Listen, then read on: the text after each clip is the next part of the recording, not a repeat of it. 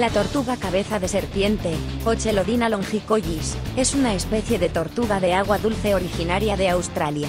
Se caracteriza por su largo cuello que se asemeja a una serpiente, lo que le permite respirar y cazar mientras permanece sumergida. Es un importante depredador en su hábitat, y juega un rol vital en la conservación de los ecosistemas acuáticos.